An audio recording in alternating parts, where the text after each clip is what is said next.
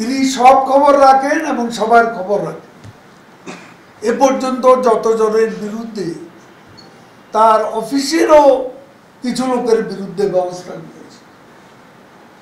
BNP আমলে, এই লুটপাটের আমলে কালকে তাদের কোনো লোককে শাস্তি দিয়েছে? সরকারি অফিসের কাউকে শাস্তি দিয়েছে? প্রধানমন্ত্রীর অফিস ছিল দুর্নীতির আর এক কেন্দ্র। সেখান থেকে সব ব্যবসা, বাণিজ্য, কাজকর্ম বন্টন করা হওয়া ভবনের নির্দেশে চলতো বাংলাদেশের প্রশাসনের একটা বড় অংশ। তো সেটা কি কারও দৃষ্টির বাইরে ছিল? সবাই কি সেটা জানে না? এখন ভালো মানুষ সাজা চেষ্টা করছে। এখন দুর্নীতিবাজদের জনপ্রিয় বলা হচ্ছে। তারেক রহমান জনপ্রিয়। সবচেয়ে বয়সরের ডিবি অফিসের কোরাল মাসকে কোথায় যে পালিয়ে গেছে? খবরই নেই আর প্রতিদিনই বলে সরকার, এই কয়েকদিনের মধ্যেই চলে যাবে, পালিয়ে যাবে।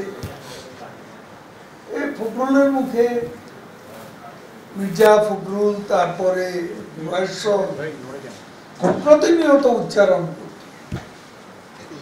তারপর নির্বাচনের পরে সরকার শেষ হয়ে যাবে।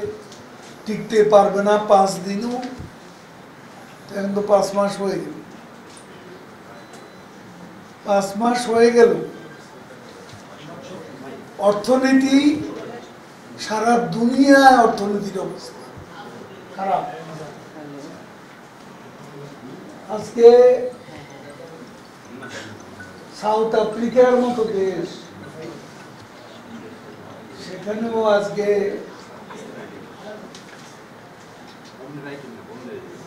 করাপশন একটা ইস্যু আনএমপ্লয়মেন্ট একটা ইস্যু এবং মূলত ইনফ্লেশন করাপশন আনএমপ্লয়মেন্ট এই তিনটা ইস্যুর জন্য তাদের পার্লামেন্ট ইলেকশনে দে আর লুজিং মেজরিটি তারা মেজরিটি লুজ এখন বিষয়টা হচ্ছে বাংলাদেশ সেখানে সামলাচ্ছে। আজকে বলা হচ্ছে ন্যানসন ম্যান্ডেলার দেশে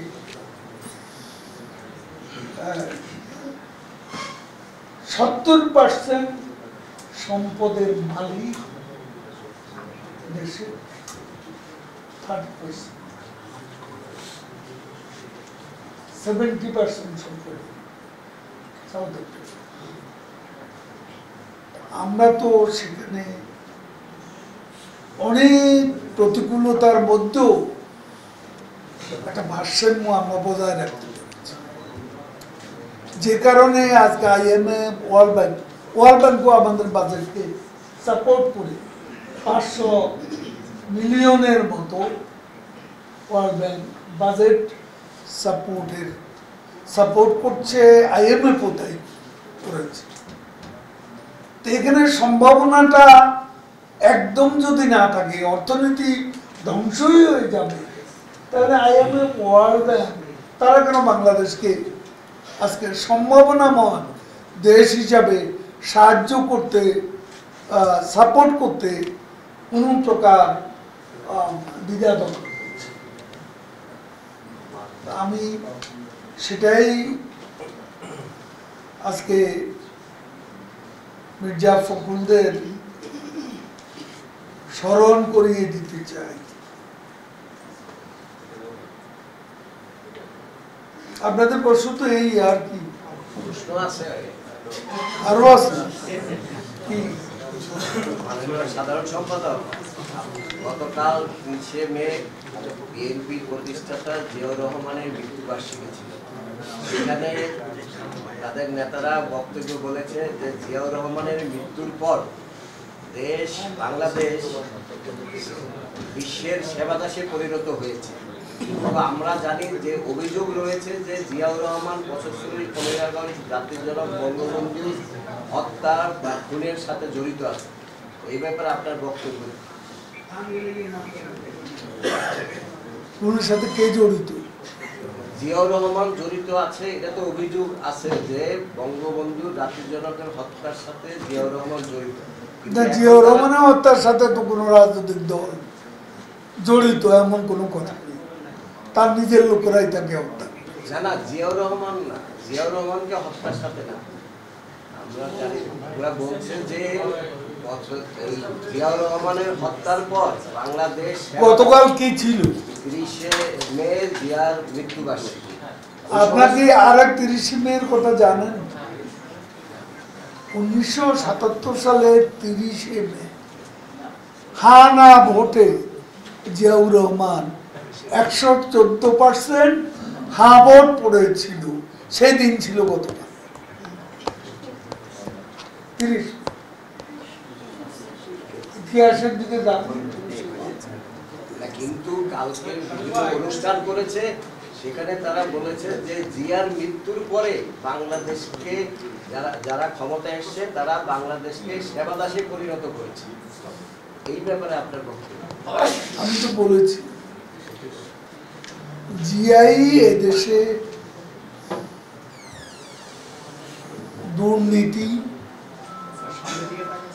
লুটপাট, গণতন্ত্র ধ্বংস, মুক্তিযুদ্ধের মূল্যবোধ, চেতনা নিশ্চিহ্ন করা, মুক্তিযুদ্ধের রণধ্বনিকে নির্বাসনে পাঠানো, জাতির পিতা বঙ্গবন্ধুকে নির্বাসনে পাঠানো। এইসব অপকর্ম যার হাতে তার পক্ষে বলা কিছু আমাদের কাছে সেবা দাস কে কার? বঙ্গবন্ধুর কন্যা কারও সেবাদাস কেউ? একথা কেউ বলেনি। এখন তাদের মুখের বৃষ্টেই হলো সবচেয়ে বড় করে আজকে আমরা দেখতে পাচ্ছি। তারা এক রাস ব্যর্থতা, স্তূপকৃত আবর্জনার উপর দাঁড়িয়ে। তারা আজকে মানসিক অশান্তিতে ভুগছে। সে মানসিক অস্থিরতার মধ্যে সত্য কথা বলতে তারা। অবিরাম মিথ্যার বেশাতে দেশের জনগণ করে রূপসা বলছেন যে আপনারা অনেক অনেক সৃষ্টি করেছেন। এই দায় আপনারা কোনোভাবেই এড়াতে পারেন না এবং এই জন্য আপনাদের পদত্যাগ করা উচিত। এবং তারা আরেকটি কাজ করছেন তারা একটা ইনকোয়ারি টিম তারা গঠন করেছে তারা সারা দেশে আরও কত তারা একটা লিস্ট বিএনপি পড়েছেন মির্জা ফখরুল কত বছর থাকতে পারে?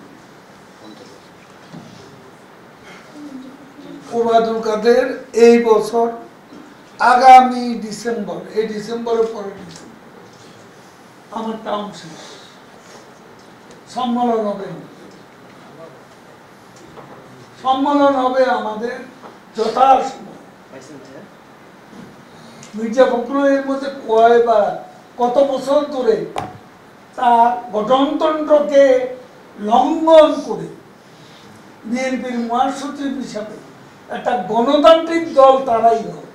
তারা নিজেরাই ঘরে গণতন্ত্রের চর্চা করে না। তারা দেশে গণতন্ত্র কীভাবে প্রতিষ্ঠা মির্জা ফখরুলের কি বৈধ অধিকার রয়েছে? তার গঠনতন্ত্রের সে লঙ্ঘন করেছে। সম্মেলন ছাড়া মহাসচিব কত বছর? সেটা আগে জিজ্ঞেস।